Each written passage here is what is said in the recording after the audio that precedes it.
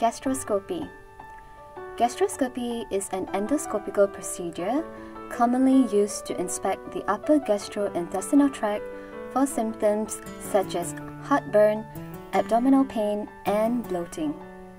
It is also the most effective screening tool for stomach cancer. Gastroscopy is minimally invasive. Before agreeing to the procedure, it is important for you to understand the possible risks involved. Our doctors will be available to advise you further during your clinic visit. As a standard preparation, a 6-hour fasting is generally required to ensure an empty stomach before endoscopy, with the exception of blood-thinning agents such as aspirin, Plavix, or warfarin, and the medicine for diabetes, you should continue your usual medicine before the procedure. Please inform your doctor if you are taking any blood thinning agents or diabetic medicine. Do follow closely the instructions given to you during the pre-procedure counseling.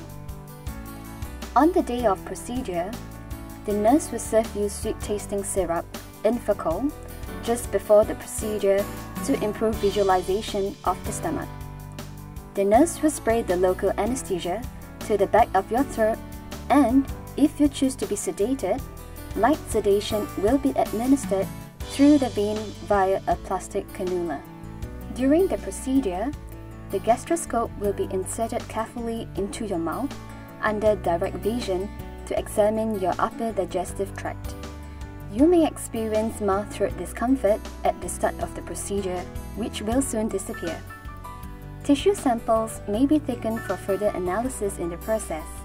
On average, the procedure takes approximately 10 to 15 minutes to complete. If your gastroscopy is done under local anesthesia, you may be discharged shortly after the procedure is completed. If you receive sedation through injections, you may be observed in the recovery area for about an hour. A brief endoscopy summary report and instructions on self care will be provided to you before you are discharged. As sedative agents may be administered, you are advised not to drive on the day of the procedure.